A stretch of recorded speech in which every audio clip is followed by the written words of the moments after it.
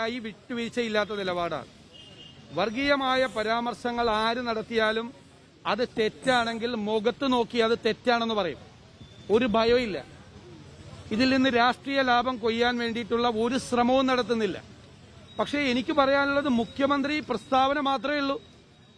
ഈ വിഷയത്തിൽ പത്തു ദിവസം മുമ്പ് ഒരു പ്രസ്താവന നടത്തുക പത്തു ദിവസം കഴിഞ്ഞ് അത് തന്നെ വീണ്ടും ആവർത്തിച്ച് പ്രസ്താവിക്കുക പ്രസ്താവന നടത്താൻ വേണ്ടിയിട്ടല്ലല്ലോ മുഖ്യമന്ത്രി സ്ഥാനത്തിരിക്കുന്നത്. പ്രവർത്തിക്കാൻ വേണ്ടിയിട്ടാണ്.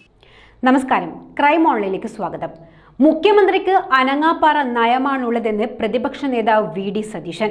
പ്രസ്താവന നടത്താൻ വേണ്ടിയല്ലല്ലോ പ്രവർത്തിക്കാൻ വേണ്ടിയല്ലേ മുഖ്യമന്ത്രിയായിരിക്കുന്നതെന്ന് വി ഡി ചോദിക്കുന്നു. സാമുദായിക ധ്രുവീകരണം നിർത്താനായി സർവമത യോഗം സർവകക്ഷി യോഗം എന്നിവ വിളിക്കാൻ പറഞ്ഞിട്ട് ആവശ്യമില്ലെന്ന നിലപാടാണ് സർക്കാരിന്. ഞങ്ങൾക്ക് വർഗീയതയ്ക്ക് എതിരെ വിട്ടുവീഴ്ചയില്ലാത്ത നിലപാടാണ്. അതാര് ചെയ്താലും തെറ്റാണെന്നും രാഷ്ട്രീയ ലാഭത്തിന് വേണ്ടി ഒരു ശ്രമവുമില്ലെന്നും വി ഡി സതീശൻ പറയുന്നു. ഈ വർഗീയ സംഘർഷം ഉണ്ടാകുമ്പോൾ പരിഹരിക്കാൻ സർക്കാർ എന്ത് നടപടിയെടുത്തുവെന്നാണ് വി ഡി സതീശൻ ചോദിക്കുന്നത്. സംഘപരിവാർ ഈ വിഷയത്തിൽ മുതലെടുപ്പ് നടത്തുമ്പോൾ അറിഞ്ഞോ അറിയാതെയോ നീണ്ടുപോകട്ടെ എന്ന സമീപനമാണ് സർക്കാരും സി പി എമ്മും സ്വീകരിക്കുന്നത്. വാസവൻ പറഞ്ഞത് ഈ അധ്യായം അടഞ്ഞെന്നാണ്. അങ്ങനെയെങ്കിൽ പിന്നെ എന്തിനാണ് ഇന്നലെ മുഖ്യമന്ത്രി വിഷയം വീണ്ടും തുറന്നത്? സർക്കാരിനും സി പി എമ്മിനും കള്ളക്കളിയുണ്ട്. കേരളത്തെ രക്ഷിക്കാൻ ഒരു മേശയ്ക്ക് മുൻപിൽ ഈ വിഷയം ചർച്ച നടത്തണം.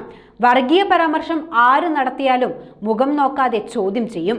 ഞങ്ങൾക്ക് ഈ വിഷയം അവസാനിച്ചാൽ മാത്രം മതിയെന്നും സതീശൻ പറയുന്നു. സമൂഹ മാധ്യമങ്ങളിൽ നടക്കുന്ന വ്യാജ പ്രചാരണം അവസാനിപ്പിക്കാൻ പോലീസ് നടപടിയെടുക്കണമെന്നും വി ഡി സതീശൻ ആവശ്യപ്പെടുന്നു.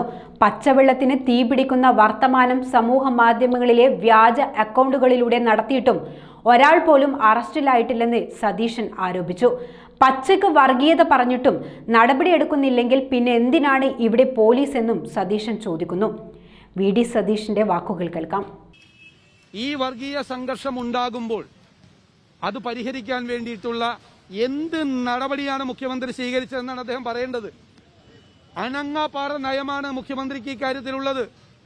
സംഘപരിവാർ ഈ രണ്ട് സമുദായം തമ്മിലുള്ള സംഘർഷം വലുതാക്കാൻ ശ്രമിക്കുമ്പോൾ അറിഞ്ഞോ അറിയാതെയോ ഈ വിഷയം നീണ്ടുപോകട്ടെ എന്നുള്ള ആഗ്രഹത്തിലാണ് സർക്കാരും സി പി എമ്മും നിലകൊള്ളുന്നത്. കാരണം ഞങ്ങൾ പറഞ്ഞ സുപ്രധാനമായ രണ്ട് കാര്യങ്ങൾ. ഒന്ന് സമൂഹ മാധ്യമങ്ങളിൽ കൂടി നടക്കുന്ന വ്യാജ പ്രചരണം. അവസാനിപ്പിക്കാനുള്ള നടപടിയെടുക്കണം. ഒരു നടപടിയും പോലീസ് എടുത്തിട്ടില്ല ഇതുവരെ. ഒരാളെ പോലും കേരളത്തിൽ അറസ്റ്റ് ചെയ്തിട്ടില്ല.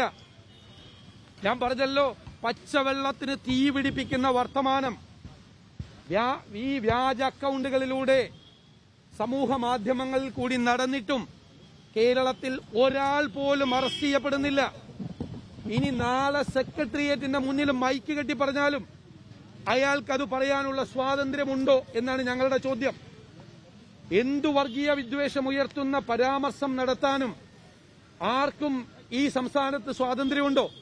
ഇത്രയും ദിവസമായിട്ട് ഒരാൾക്കെതിരായി പോലും നടപടിയെടുത്തിട്ടില്ല. ഈ കാര്യത്തിൽ കത്ത് കൊടുത്തതാണ്. ആ കത്തിന് മറുപടി പോലും മുഖ്യമന്ത്രി തന്നിട്ടില്ല. രണ്ട് സർവകക്ഷി യോഗം വിളിച്ച് സർവ മതസമ്മേളനം സമുദായ നേതാക്കന്മാരെ ഒരു മേശയ്ക്ക് ചുറ്റുമിരുത്തി ഈ വിഷയം തീർക്കണം എന്ന് പറഞ്ഞിട്ട് അങ്ങനെ തീർക്കേണ്ട ആവശ്യമില്ല എന്നാണ് പാർട്ടി സെക്രട്ടറിയും മന്ത്രിമാരും പറയുന്നത്. തീർക്കണ്ടേ?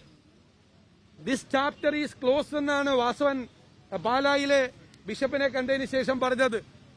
ഈ ചാപ്റ്റർ ക്ലോസ് ചെയ്തോ ഗവൺമെന്റ് എങ്കിൽ പിന്നെ എന്തിനാണ് ക്ലോസ് ചെയ്ത ചാപ്റ്റർ മുഖ്യമന്ത്രി ഇന്നലെ വീണ്ടും തുറന്നത്. മുഖ്യമന്ത്രി വീണ്ടും ഈ പ്രസ്താവന നടത്തിയതോടുകൂടി വാസവൻ ക്ലോസ് ചെയ്ത ചാപ്റ്റർ വാസവൻ അടച്ച അധ്യായം മുഖ്യമന്ത്രി എന്തിനു വേണ്ടി വീണ്ടും തുറന്നു? അപ്പോൾ ഇതിൽ കള്ളക്കളിയുണ്ട്. ഈ കള്ളക്കളി സി പി എമ്മിനുണ്ട് സർക്കാരിനുണ്ട്. ആ കള്ളക്കളി മാറ്റിവെച്ച് കേരളത്തെ രക്ഷിക്കാൻ നിങ്ങൾ അടിയന്തിരമായി സമുദായ നേതാക്കന്മാരുടെ യോഗം വിളിച്ചുകൂട്ടി ഒരു ടേബിളിൽ വെച്ച് അത് അവസാനിപ്പിക്കണം. ഒറ്റ ദിവസം കൊണ്ട് അവസാനിപ്പിക്കാൻ കഴിയും. എന്തുകൊണ്ട് ചെയ്യുന്നില്ല എന്നാണ് ഞങ്ങളുടെ ചോദ്യം. അടുത്ത എപ്പിസോഡിൽ കാണാം. നമസ്കാരം.